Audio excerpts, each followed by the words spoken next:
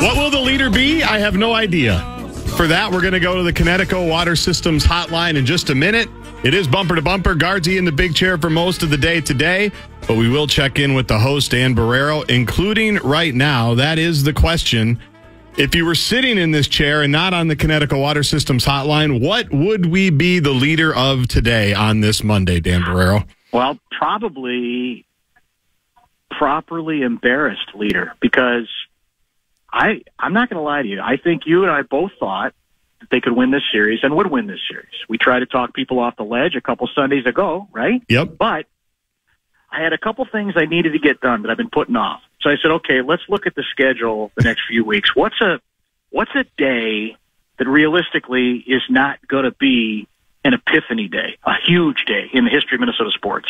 The Monday after Game Four, because the Wolves might split in Phoenix, but they're not going to sweep in Phoenix. That's just not likely to happen. So I said, okay, I'll take my chances, and I'll take that, you know, today as the day I'm going to get some of those things done that don't allow me to be in the studio. And so I'm now properly chastened that I didn't believe in the, I believe in the club, Yeah. but I clearly didn't believe in them enough because part of it is I also didn't want to extend it too far on the other end because I assume they're going to win. I go, okay, I don't want to, I don't want to miss time once we get into the next round, right? So it seemed to be the sweet spot, the perfect day. And then Anthony Edwards and company just, they had to go out and ruin it by taking series and taking, and I'm not kidding about this, the National Basketball Association nationally by storm.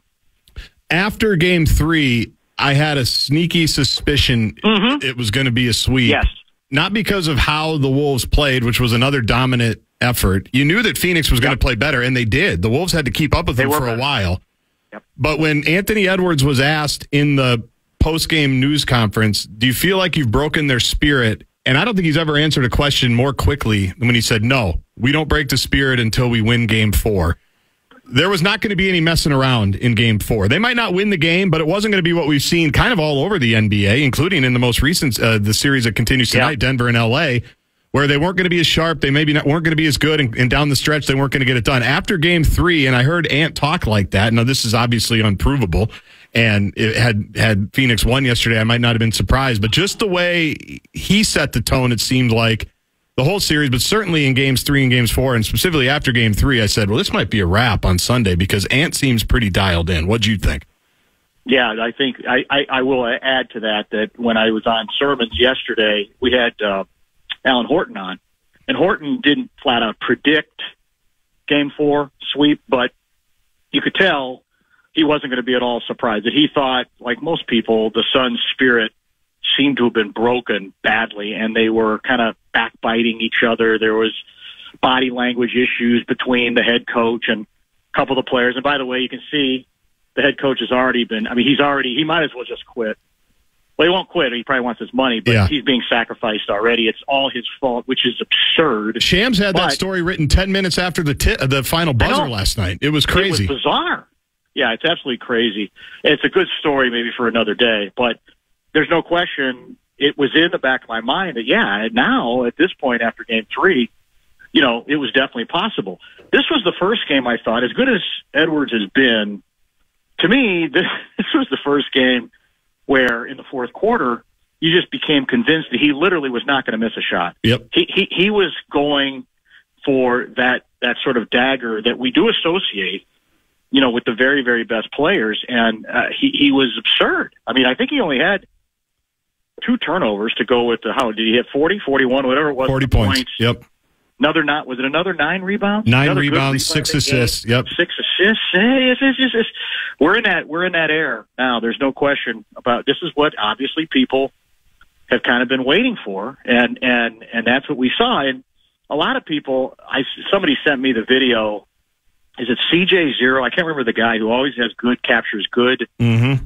video. I don't know if he's league wide or the Wolves, and it was that defensive stand late in the game Yep. in a game where, by the way, their defense start to finish had actually been leakier than it had been in previous games. But key moment of the game, and Phoenix keeps moving the ball, trying to stay ahead of a Wolves defender, getting right up on the three point line on whoever the, the would be shooter was. And they kept, you know, turning it, and the Wolves kept answering it with a with a defender right there. It almost it looked like the Wolves had seven or eight defenders on the court. Mhm. That's how aggressive and how effective, and that's the one that ended with the uh, Nickeil Alexander Walker steal, if you recall. And that's what you that's what you say for for posterity, right? If if this team does make a run this year beyond just the first round series, that to me is going to be well. There that symbolizes it. Where literally, no matter how many times the other team does what they're supposed to do, right? Swing the ball. You've got a defender, a particularly sticky defender, in your face, forcing you to to to, to swing it one more, you know, to the next player. And by the end of the deal, they're so good at defending it that you lose the possession entirely. We're talking with Dan Barreiro on the Connecticut Water Systems hotline. This is bumper to bumper. Guardsy in the big chair today. You heard Dan at the beginning say a scheduled load Who do you have management day. Uh, we've got Jace Frederick at the bottom of the hour. We've got Johnny Athletic at the bottom of the hour, and we'll call you sometime in the four as well. Um, Okay. We also have a um, we basically have a montage of every national person possible and what they're saying about Anthony Edwards because as you can imagine, there's a lot. Um, but that that defensive stand that you talked about, I tweeted about it four seconds later, where if you wanted to just sum, you know summarize the Wolves, the 2024 Wolves in 20 seconds, it was that defensive stand, which I think Phoenix had eight passes, all properly defended on both sides of the court. Ending up with a steal, and then it gets into the hands of Anthony Edwards, who just drives by and puts the exclamation point on it. That puts him up mm-hmm. four, and at that point, it's pretty much a wrap, right? Some other stuff had to happen, including the head coach being carted off, which we'll talk about. Oh my God! But that's Yeah, the unbelievable. That's the twenty to thirty seconds. If you just wanted, who are the Timberwolves in twenty twenty four? You send them that thirty seconds, Yeah, and you go, "This is it. them," right? And that was really the key to the no series question. that you and I talked about the, the last two weeks. What bothered us most about the regular season games against Phoenix was that it wasn't the team that had been the Wolves for eighty plus No. games. They were kicking the ball all over the place. They weren't guarding anybody. Phoenix was freewheeling, footloose, fancy free, mocking everybody on the court. And the Wolves, in a sense, remembered who they they were and have been Mm-hmm. in these last four games. Well, yeah, yeah, hundred percent. Yeah, and again, you know, we got into this subject again yesterday on sermons, and you and I probably talked about it too. It's, you know, it's a really cool calling card to have in a league that obviously is more about offense than defense. And by the way, to win, even if you have a good offense, you have to have a legitimate defense. But no team has really made it its signature to the degree, in recent memory at least, to the degree that the Wolves have. And if you're a fan, to me, that's an added. Now, the, you know, it's an added bonus. The big bonus is you're out of the first round for the first Mhm. time in 20 plus years. But an added bonus is, well, this is really unique. How far can this go? Because how often do we see this many players, including, by the way, Karl Anthony Towns, who was magnificent yesterday, um, this engaged in it, as in welcoming it, as in, no, no, we're not doing this just because we have to. We're doing this because we love this. And I think that's the best part about it. And, you know, Barkley, I thought Barkley after the game, he was very high on Edwards, but he was actually a little bit more, what's the term I'd use? Um, a little more, little more low key than, uh, than Kenny Smith. Mm-hmm.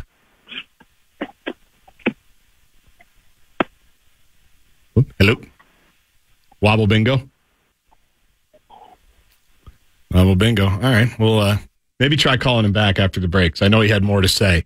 Uh, we will do that. We'll uh, we'll call Dan back after the break. We've got Jace Frederick at the bottom of the hour. Three thirty is when he will join. I think landing from Phoenix. He was in Footprint Center for games three and games four. Johnny Athletic will make his weekly Monday appearance at five thirty. And I do I did mention we've got what they're saying about Anthony Edwards. I also want to know what you have to say about Anthony Edwards and the Timberwolves and just how you're feeling in general on watching something that hasn't happened in 20 years. The last time the Timberwolves opened a series and won a series was 2004. They had never swept a series before. No major Minnesota sports team had swept a series before in the best of seven. So we'll talk about all of that when we come back with Barreiro. But first, I think we have a grand to try to put in somebody's hand. We do. The fan at bigdeck.com want to give you shots. put a grand in your hand at the National Cash Contest. Head to KFAN.com and the keyword bills for this hour. The keyword is bills. KFAN.com, keyword bills. More bumper to bumper with Dan Barreiro on the phone when we come back. You want to chime into what's happening in your favorite KFAN shows, you can make your voice heard on the Bradshaw and Bryant KFAN text line. Just let us know what you have to say by texting that message to 64686. That's 64686. Standard text message and data rates apply. Yeah, hit the Bradshaw and Brian KFN text line, as Brett just said, 64686. Also hit the talkback of your iHeartRadio app. We're going to play a bunch of talkbacks today throughout the show. You've got 30 seconds. You hit the microphone icon right there when you get to KFAN and the iHeart Radio app. We'll do a lot of those in the 4 o'clock hour, so load them up now. We'll do kind of a Timberwolves talkback day. Uh, Alan Horton, 113 to 111. Ant one on one against Bradley Beal. Beats some baseline. Rises and hammers. What a finish by Anthony Edwards. Big time dunk by Ant. 27 points in the second half. And he rocks the rim and oohs and ahs even from the Suns fans here in the building. He's put the Wolves up four with 2.12 left to play. and they would not relinquish that lead. We're going to go back to Barreiro here on the Connecticut Water Systems Hotline. Guardsy filling in today. Jace Frederick coming up next segment. Johnny Athletic at 5.30. When you were rudely interrupted, Dan, you were talking about Kenny Smith being a little bit more, or I should say Charles Barkley, I think, being a little bit more understated than Kenny Smith or vice versa. Take us through the uh, what, what you yeah, were saying there. Kenny, Kenny basically, although I, part of Kenny's point was, I think, was to troll Charles because he basically said, well, Char- Charles, the, the Wolves have answered every one of the questions you had. You're the guy who said it wasn't going to work with the two big men. You're the one who said blah, blah, blah. And so Kenny basically said, I think they answered every question. Charles being Charles said, well, hold on a minute. Congratulations. It's great to get out of the first round, but uh, I'm not going to crown them yet until they play a less fundamentally flawed team. And that's what's going to be interesting going forward Mhm. because the truth is, I think Phoenix is. I mean, when, when- if you go back to when they made that the, the move for for Beal, it, it it wasn't logical because it was from the beginning. I think understood by some of us is they're too top heavy. They don't have enough role players. They got no bench, and how is it going to work with three primary scorers anyway? And we kind of found out, right, that it's limited how it's going to work. And to that extent, I think Charles has a point. On the other hand, I think this is what I'm sure you feel good about, and what I think Wolves fans should feel good about. They didn't win a tr- title, right? There's no commemorative print for getting out of the first round, except maybe in maybe in this town because of how long it's taken. but in all honesty, it's the it's the declarative way in which they did it, right? Right. They didn't sort of like back into it. They didn't luck into it. They blew the mother bleeping door down, right? I mean, that's what they did. They absolutely exposed. If Phoenix is limited, they they completely exposed them, which is what you know really good contending teams are supposed to do. So to me, that's why I think you can make a bigger deal of it than generally we would associate with. All they did was get out of the first round, man. They're in the conference semifinals. It's the way they did it, right? Which I think is part of the reason around the league. There's already a feeling of ah, Denver. That's that's going to be interesting. Right. That's going to be fun. That's going to be that's not going to be a walk in the park for Denver. Which, by the way, has actually looked a little vulnerable against the Lakers. The Lakers just can't finish Right. at this point. And now I think Murray's hurt, which is an interesting wrinkle that might end up affecting even you know eventually the Wolves series too. So I, to me, that's why it is. It's it's. Yeah, I don't think anybody in Wolves Nation has to apologize for celebrating to the degree that I know they are. And the component, I think Johnny wrote about this a little bit. That you know, you grew up with this team. Mm-hmm.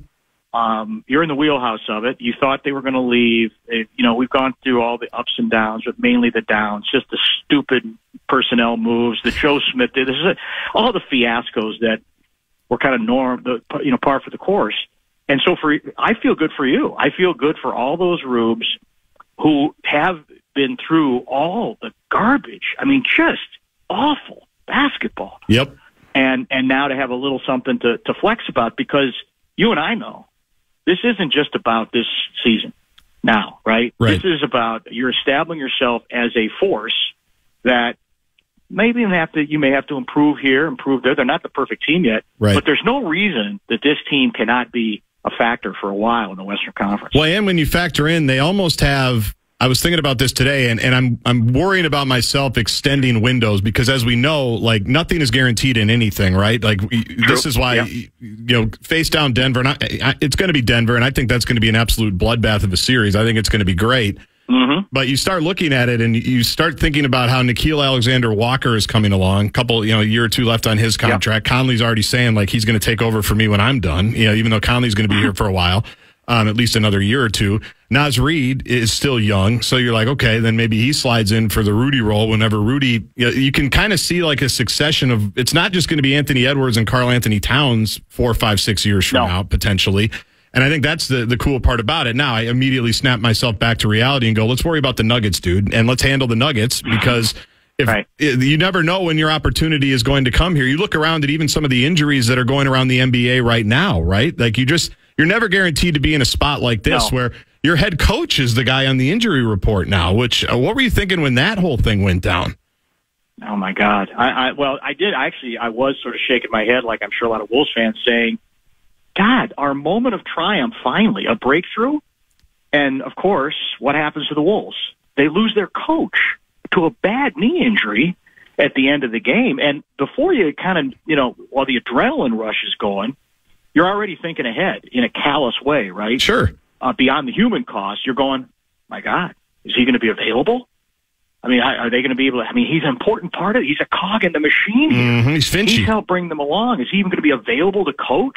I, I, I could I could hear the sp- the wheels spinning and people shaking their heads and going, couldn't we have given given our having five minutes to really celebrate this and enjoy this before we the head coach? How often has it ever happened in NBA history? I've never seen it. I, my wife asked me that. She goes, "Has that ever Oh, happened before?" I said, "I don't." Yeah, I don't. I've seen coaches. There was a uh, there was a college coach, Ron Hunter, that hurt himself Yeah. celebrating Remember? once, and then had to wheel himself around in the, the for the rest of the Big tournament. dance.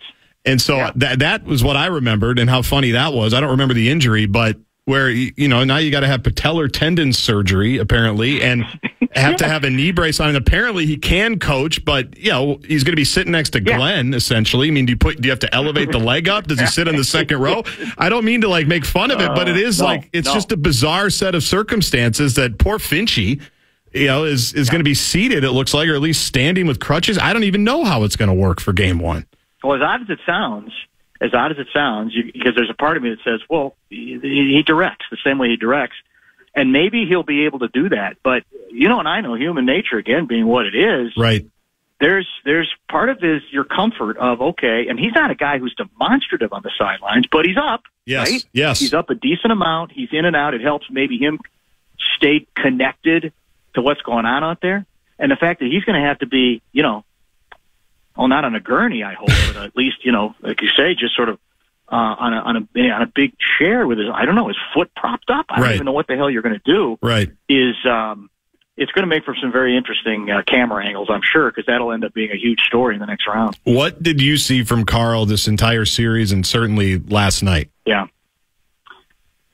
Well, I saw, I think, a well, the the consummation of his acceptance of the reality that it is Anthony Edwards' team, and you could argue he's already acknowledged that and shown it to a to a large degree with how magnanimous he's been all along. But to me, the beauty of last night was Edwards, to an extent, is now quite possibly in the perfect situation. Okay. Because I do think there was reason to wonder whether if it mattered, he is a one. If you want to buy that nonsense about Alpha or Batman and Robin, whether he could literally be the guy who's at the top of the food chain. And he doesn't have to worry about that anymore. He knows it. The league, whole league knows it. And he looked very comfortable. The old let the game come to me Yep. sort of situation. I don't think he's forcing as much because to a certain extent now the pressure's off and he doesn't have to. And if the team succeeds, guess what? He's going to get plenty of accolades, right? He's going to get plenty of attention. He's people aren't going to be down on him to the degree, in fact, that they were before. His whole reputation will be transformed. But in large measure, I think it's what we were talking about earlier. Um, he's never going to be, you know, um, uh, compared favorably to some of the great shutdown inside defenders in the league.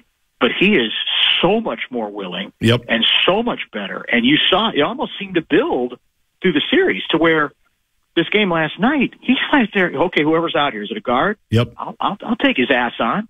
You're not, you know, you might, you might get past me, but I'm going to make it tough for you.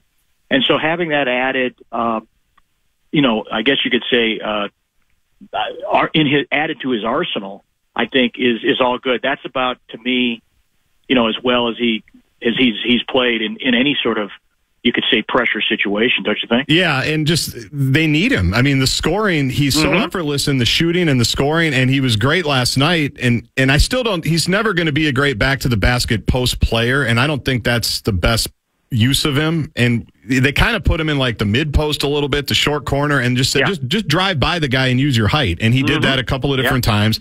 And on that on that um, defensive play that we talked about, that everybody's talking about.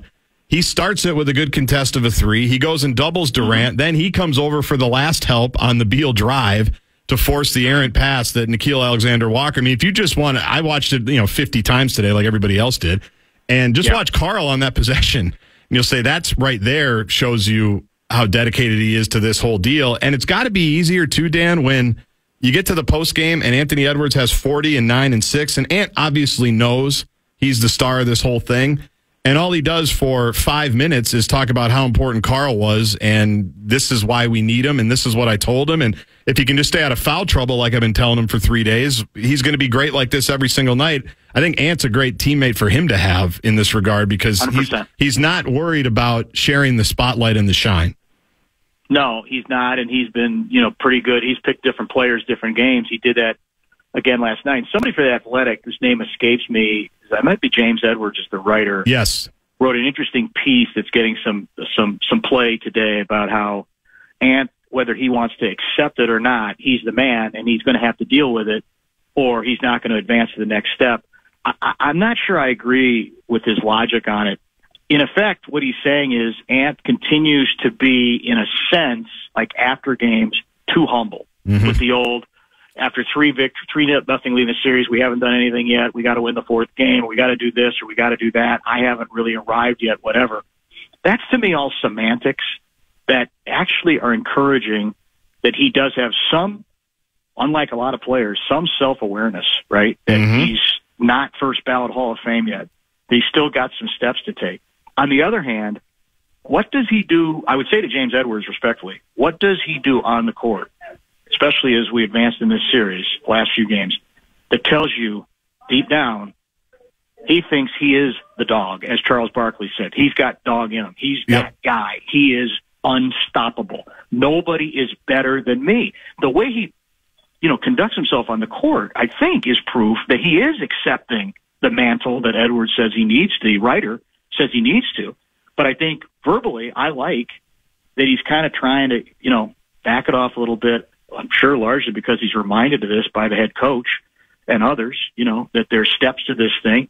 Hell, last time we had Connelly on, Tim Connelly on, what did he tell us? He said, we stay on him. All, we compliment him, but Yep. we stay on him all the time about the steps.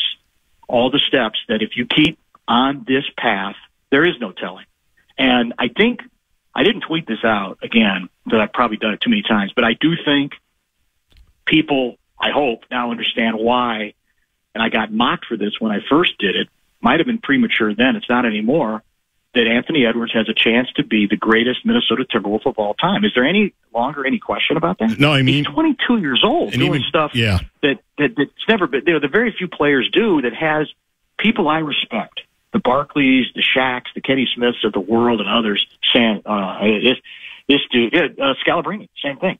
This dude's different. You know, he's one of those guys uh, who's who's who's wired different and also has a skill set that allows him to do things that rarely are are being done on a basketball court. Well, he's got KG tweeting out after game three saying, break all the records, kid. You know, he's got KG Yeah, saying the same that, thing. yeah. So Yeah. he, he's in the same boat. All right. Uh, get your load management done. Uh, we'll call you in about an hour. And um, yeah, that's what we got. That's what we know. We'll call you in about an hour. You got Johnny today, you said, and uh, who's who else? Jace Johnny Frederick coming up right around the corner. He was Oh, in nice. Phoenix, so we'll get the. I think he just landed about 45 minutes ago. So Jace from the Pioneer Press, Johnny Athletic, and then um, a bunch of talkbacks on the Timberwolves talkback Tuesday and Monday.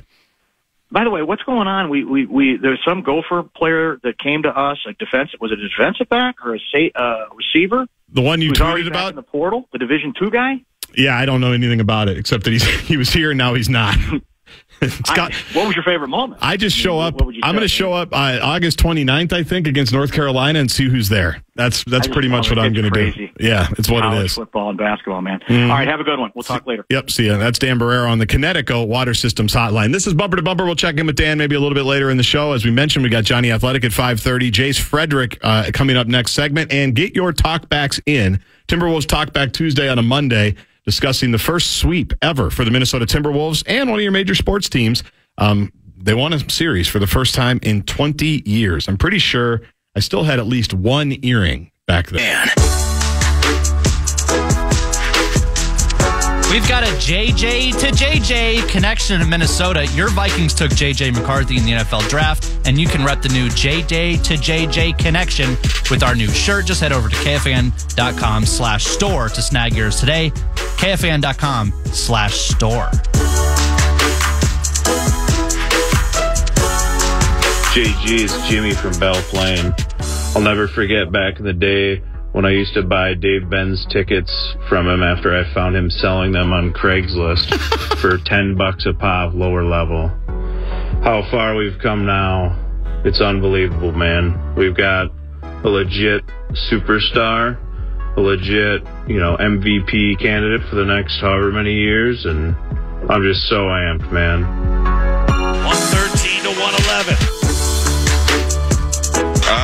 Want to kill everything in front of me, man. That's the main thing. Dave Ben's catching strays here on a rainy Monday. Welcome back to the 651 Carpets Plus Studios. Guardsy in for Barreiro today on Bumper to Bumper. We're here until 6.30. Johnny Athletic will join at 5.30. We'll catch up with Dan again at some point in the four. But we head now to a man who just landed from Phoenix within the last hour, covering games three and four, as he is wont to do as the beat writer for the Timberwolves and a million other things for the Pioneer Press, TwinCities.com. He is Jace Frederick on the Connecticut Water Systems Hotline. How are you, man? How was Phoenix? Hey, guards, it was a lot of fun. Um, I think for obvious reasons, it was a fun atmosphere. It was fun to kind of see the celebration last night. It was it was an enjoyable trip. I'll remember that. Take me into the locker room. Take me into the hallway. You guys did that a little bit with the videos from uh, the bowels of Footprint Center. Um, it seemed pretty businesslike. It seemed pretty emphatic. It seemed pretty celebratory, and it seemed like a group that said, "This is why we all came here to do this. We were supposed to do this. Maybe not in the fashion you guys thought, sweeping them, but this is what we expected from this group." Yeah, you kind of forget, like in the NBA, especially when you never see one, um, that when a team wins a series, like there is a little bit. It's not baseball. It's not spraying champagne, acting like you just won the championship, but uh, it's it. There is definitely like a lot of a celebration, like kind of reflecting even amongst guys, like talking about players, talking about matchups, uh, just being more open about what they just did over the last week or whatever. Um, and just like the general excitement of it. Um, I think after each game, this team has done a really good job of like, hey, this is business. It's one game at a time. We got another one. All these things. Um, and then when it's like, now you don't have anything in front of you for a week here, Mhm. uh, really kind of soaking in it and enjoying it. Like I think they took a lot of pride in the sweep. I know Mike Conley was just kind of chatting with us pregame of like, I've never had a sweep before. Like that's kind of something that would be cool to check off my list. And uh, so he did that. And I think there's just a feeling of domination too when you obviously do that to a foe. So it was it was a lot of yelling, hollering, uh, kind of like laughing, like reminiscing on it. Uh, it was cool to see that. Obviously, they know and they've talked about about hey, there's more after this. This is just one series, but giving yourself a minute, giving yourself a night to uh, kind of appreciate all the work you just put into this.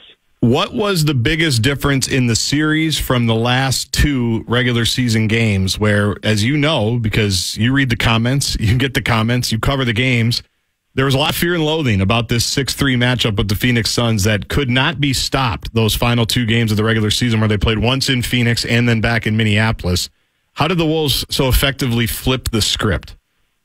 Yeah, I think it was pretty clear um, to anybody watching, and Jaden McDaniel said it last night. He's like, we just upped our physicality, and part of that is they just played harder. Like they, it's not like they hadn't played well, um, but they hadn't been the exact same team, especially defensively. Like that suffocating, how do you even dribble the ball up the court defense that they were at the start of the season. Um, they recaptured that, and uh, and obviously then like usually with the playoffs with the whistle, and this was definitely true in the first couple games of the series at Target Center, they were allowed to do that. Um, they were allowed to be the most like physical, tough, you know, like like literally make you fight for every inch on the court uh, group, and that kind of exposed Phoenix, who doesn't have a point guard, who can't get into anything easy, um, who's got you know you've got Devin Booker or Brad Beal, like having to fight tooth and nail against like a Jaden or Nickeil Alexander Walker just to get across half court. Um, now. Now it's 16 seconds left to, to do anything you want to do um, and, and kind of try to run some offense, and that's not easy to do. And there's nobody to really get into it. And then by the third quarter, like when Beal and Booker are having to work really hard just to get the ball up the court, they're spent. Uh, so I think just like Minnesota wore Phoenix down with just an amped up physicality that we hadn't really seen from them. Like I think in the end of the regular season, they're maybe at an eight, and then by by this last week here, they were definitely back up to a ten. What was the biggest difference in Anthony Edwards from those two games where he couldn't do really anything? And we talked a lot about just the the shell defense that Phoenix was employing. And I think I know the answer is he started just involving his teammates who were spectacular. He couldn't do I, like I can't think of like one guy that played consistently bad through these four games. And then when it was time for Ant to go, he was able to do it. So how were they able to unlock that whole thing where Ant essentially became inevitable at some point in the second half each of these games? Yeah, he he. And it really is kind of a continuation of the player that he's become over the last month and a half or so. Um, and it really did. It really did start with when Karl went down. Like, and knows in those situations, like I'm going to have all the attention on me, um, and that and that it was the case. And and he just made a better effort this time than other times when he hasn't had Karl of how do I take advantage of them loading up on me and finding others and really trusting that and teammates really kind of gaining confidence in themselves and their own aggression and, and not being shy, not turning shots down. Like everybody knew like, okay, this is my time right now to shoot the ball. This is my time to attack the rack. Uh, so that and then that really did just kind of ca- carry forward. And I think at the end of the regular season, Karl was still kind of working his way back in. And so, like Minnesota played Atlanta and then Phoenix, and on that weekend it didn't play great neither. And I think Right. there's a little bit of a natural reacclimation period there as Cat works his way back in and like reintegrates and kind of works his way back into playing shape and rhythm and all of that. Uh, but then by with that week of practice, I think that was really huge. And then they were able to like throw every look that Phoenix was going to throw at Ant at practice, where they went hard for like three days. And you show Ant something enough, he'll figure it out. Um, and he already kind of had built in that muscle memory of like, okay, I get off it here, I get off it here, I get off it here, it'll come back to me. Um, and it really did kind of loosen up Phoenix to where he said, you know, in the second half last night, like they were done doubling. Uh, that because that had not worked for them either. Um, so then they were just kind of like, all right, make Ant beat us. Uh, and there's a lot more just straight switches and and Ant attacked that a lot of times getting to the rim. He attacked it with his jumper, obviously that started to fall, and it was really the perfect balance. And he's found that in this last six, seven weeks of this perfect balance of how you adjust via how the defense is attacking you um, to kind of make whatever look they are giving you work against them. Um, and he's doing it right 90% of the time, which is which makes it really tough for defenses. I watched the Karl and Ant press conference last night. I've probably watched it, Jace, maybe 15 times in its totality uh, in the last 12 to 18 hours. The stretch about Ant, and we're going to play it on the show. I had multiple people um, on beep patrol to make sure that we got every swear word out. But the part where Ant was talking to Karl about the fouls. To me, is as good as it gets in a press conference setting. Um, as you, you know, you've been in a million of them. I just couldn't get enough of that. I've shown it to like everybody in my life, uh, and we're going to play it here probably right after your appearance. But what did that vibe and what did that press conference last night kind of tell you about those two, that relationship as really the the two main key cogs in this Wolves machine for however far it goes this year and wherever it goes in years after this? Yeah, I think for me it was a continuation of what Ant has done with Karl for a long time now, and that Ant knows Karl gets criticism. Um, Ant knows that Karl probably does have to like doesn't get to play exactly the way he wants to play at all times. These types of things, and and he knows that like Karl's always under this microscope of like, hey, he makes bad passes and whatnot. People are going to jump down his throat. Uh, so Ant has always kind of been Karl's biggest like cheerleader, you know, of like, oh, we need Karl. Karl's the most important player on the team. Karl, Karl is the best offensive player on our team. Like he does that time and time again, and it's like, oh, did Karl have any games where he maybe we didn't have like this massive impact. And Ant's like, well, that's because he's in foul trouble, Mhm. you know, like, and just like we write that off to that right there. And you see what it's like when he's not in foul trouble tonight. Like, uh, he is constantly always gassing Karl up, or, or lack of a better term, like really like pumping up his tires and like, we need you. You've been great. You've given us exactly what we need. Keep it going. Um, he he Ant is a pretty big relationship guy of knowing what to do with every person, and with Karl, it is always kind of boosting up his confidence, knowing that that's how you're going to get the best version of Karl Anthony Towns. So I think that kind of is like the social intelligence that Ant displays really on a daily basis. We're talking with Jace Frederick, Pioneer Press. Follow him at Jace Frederick on X. You can read his stuff at twincities.com. Put a bunch of stuff out yesterday before game four. I'm sure we'll have a lot coming up this week as the Wolves await their next opponent. It's either Denver or the Los Angeles Lakers. If Denver wins tonight, that series will start in Denver on Saturday. If the Lakers win, the series will start wherever um, on Monday, I believe. Um, and the way what struck me too, Jace, is the, on the stuff about the the fouling. It, I can imagine Jimmy Butler saying that to him or Michael Jordan saying that to him, but it was not what he said, it's how he says it. Like, even though he's what, six years younger than Karl, he's almost like the big brother. Like, hey, man, I, I'm telling you this. Like, I told you this. I've showed you the way. Like, just stop fouling. Just stop bleeping fouling and everything will be fine. It's like a playful, but I'm serious and get it together and then we're going to be great. I just think the method that he does it is. I don't know if it's new agey. I don't know if it's brothery. I don't know what it is, but it's awesome. I, I just think it's the perfect approach with a guy like Karl. Everything Ant says, like even if he's giving you straight answers, like there's like some humor to it, just like the way he's saying it. You can't help but like smile or laugh a little bit at it. And the same exact thing comes off with like his instruction or criticism of any teammate. Like he will yell across the locker room, like, "You need to shoot more. You need to do this. You need to be better here." Like right in front of everybody. But yet the person who he's doing it to, like, always just kind of smirks and nods, you know, like, and like, and it's not like you don't feel like you're getting yelled at or called out. It's just like that's just Ant being Ant. But the message also still gets through.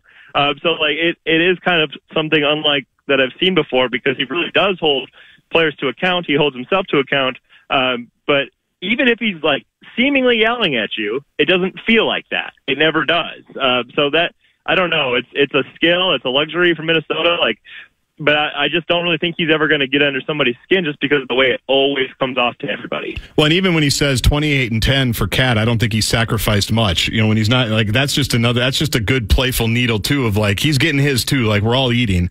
Um, so tell me about the cat that you saw this series as a guy who has been criticized, who has been through a lot, who has a huge microscope on him for how he, you know, is all over the officials. And by the way, I think this was also a good series, uh, instructive to say like whatever we think of Ant being mad and getting texts and Karl and Finchy and everybody, it's like look around, man. I mean, I'm so glad we don't have to watch the Phoenix Suns and the flopping and the flailing and Booker complaining about everything. I'm glad we don't have to do that for another year at least. But what did you see from Karl? Like, was this a big growth series for him? Like, should this now be the expectation just for all around Karl, uh, defensively, with the refs, offensively, not driving out of control, taking what the defense is giving him? It seemed like just a really mature series from a guy who's in his ninth year. Yeah, and honestly, with the ref thing, um, the complaining, I think Minnesota made a really concerted effort, and this probably also was part of their week long prep to not do that um, because they certainly have been a team that does it a, a lot as well, um, along with a lot of other teams. But that even went to Chris Finch, who complained to the refs less than I've ever seen him do all season. Like this is usually a guy who is standing on the sideline and every single trip down saying something to the official, and he didn't say like hardly anything. And I could tell like that was a concerted effort on his part. Um, kind of think kind of trying to set a tone there, and I think Minnesota did a pretty good job with it. You're always going to have some times where you go up, you throw your hands up, whatever. Uh, but but I think they did a really good job there. For Karl, yeah, I think it was just like a maybe like the most comfortable he's ever been in his skin and his role with this team. So like maybe I think sometimes feeling like you've got a little less to prove or you understand more what's required um, when I think it does sometimes help. Like I'm interested to see in this team, like if they play Denver and they're down 12 in the third quarter, how do they react then? Sure. Uh, they, they were just constantly in control in the series, so I think everybody was always comfortable. I really do. Like, and and that's the point where when you're kind of rolling and everybody's playing well, and and maybe you can just keep that going all the way through. There's nothing wrong with that. Um, where you just keep continue doing the right thing and staying composed. Um, Karl, I think, did a great job of that. Like offensively yesterday, it was a perfect mix. Like he started off by just taking a lot of threes, and that is the best part of his game. And then I think he did a pretty good job being picky uh, with the drives and like knowing when it was advantageous to do so. And then the biggest thing was just being as active as he was on the glass, tough defensive boards. Uh, defensively, like I'm gonna be honest, like Karl in his post game presser last night said I didn't foul because I didn't play as much defense, and I actually agree with that. I know, like in that around the horn play with the last two thirty left, like Karl had some really good rotations there, but you know that ant block on Booker, like Booker kind of went around Karl like a traffic cone there. Like Yeah. that was maybe some of Karl's worst ball contain that I've seen uh, all series, but it probably did contribute less to the foul. So there is probably some give and take there. Uh, but I, I just think like everything else he did um, was really measured. Um, and and at other points in the series when he's playing 23 minutes or something, he's just taking advantage of the time when he's out there and understanding here's my time to supply a scoring burst. Um, so it is kind of like doing basically what everybody's doing right now, which is giving the team what they need in that moment. And maybe Ant they need more from, but everybody else is just doing what they need, and that is maximizing kind of the sum of all the parts here. Last couple of minutes with Jace Frederick, Pioneer Press. Follow him at Jace Frederick on X, twincities.com for all of his great work covering this team all season long. Covers a bunch of stuff, specifically the Wolves here at this time of the year. So, what do we make of Rudy not being played off the court? As everybody told us, especially against a smaller team, it seemed like Rudy, I mean, Rudy was guarding everybody. Rudy was out. Rudy was, you know, 30 feet away from the basket. There was nowhere for Phoenix's big three to really go if Rudy was on the floor. Is this the Rudy that obviously this is kind of a stupid question? This is everything that they could have hoped for with Rudy Gobert, right? When they made this trade for what he brought all season defensively, but certainly in this series.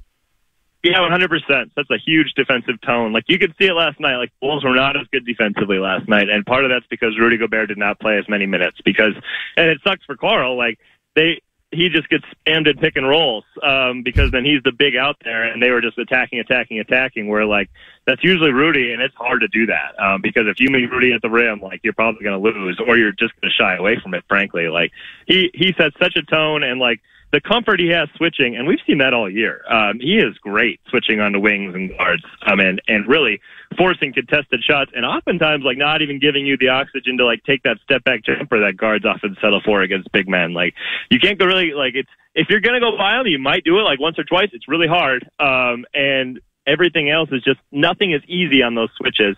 And I would say like I remember watching those Utah games, um, and I remember especially like in Rudy's last year there um, the lack of effort anybody else gave defensively, and just watching Rudy like have no choice but to sprint in to try to protect the rim. Yep. And then they would kick out to Rudy's guy, and no one on earth can run back straight out to the corner and get out to a shooter, and nobody on the wing would rotate down, so you wouldn't get any of like that Wolves with like two thirty left or whatever last night. Everybody rotating over, over, over. No one on Utah rotated over, so it was just Rudy's guy left alone as Rudy's trying to sprint after sprinting into the paint, trying to sprint back out, and then the guy would make the three and it'd be like Rudy. It's like I don't.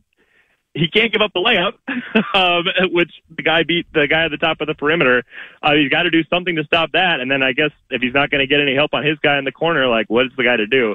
I'm not surprised at all that with a competent defense around him, uh, he can continue to be dominant um, no matter the. if I'm going to be cocky on Run It Back Island, like I have been all season with Max Fuller, Craig Kilborn, and one of us Hollywood actor guy Josh Broughton, the only four of us on Run It Back Island uh, to bring this team back and see what they are. I have to be, um, I have to be, I guess, transparent. And you have the receipts of this, as does Johnny Athletic, and I think a lot of those other guys that I just mentioned. I was extremely concerned with Jaden McDaniels this season. Um, you know that. I think I wore you out with those texts. I'm like, what's he doing? How can they count on him? I'm worried about his shooting. I'm worried about his turnovers. I get the defense, but he's got to bring something extra. Wow, he did. Um, starting with game two, where he was just tremendous. Uh, the dunk last night, notwithstanding, I think he finished with 18 points. What did he unlock in himself on both ends of the court to be as really the guy that they paid all this money to, right? And the guy that they thought was worth investing to this level. He was spectacular. Yeah, he really was, uh, and I think uh, I think the big part of it is like getting to play more physically. Uh, maybe kind of gets him going a little bit, def- like defensively. Maybe sparks his offense a little bit. Gives him more license, I think, to feel like he can be aggressive. Um, and I do think, and we saw this like for pieces of when Karl was out. Ant hit. I mean, Jaden had a couple good games in there as Ant was really getting everybody involved. Um, and then, it, but it was it was a roller coaster, and there certainly were games where like it was like, all right, he's not doing it tonight. Um, I think he's done a good job not relying as much on that jumper, which has really kind of failed him this year. Uh, sub 34% from three on a lot of really open looks in the corner. That's not good. Um, he hit a huge one last night. He's got to keep taking it when it's wide open, but I think he's done a good job, like being more cognizant of attacking closeouts, straight line drives, get to the bucket, uh, you know, throw down a huge dunk when it's there for him. So I think just being more decisive, but I really do think like the aggressiveness he's allowed to play with defensively, uh, the fewer, the less often he'll be in foul trouble as he gets to be more aggressive. Like that really does allow him to get in more of a rhythm that leads to more confidence on the offensive end. I know you got to fly, so I'll get you out of here on this. Your early impressions. Let's assume it's Denver that they take care of the Lakers either tonight or in Game Six, and host Game One either Saturday or Monday in Denver.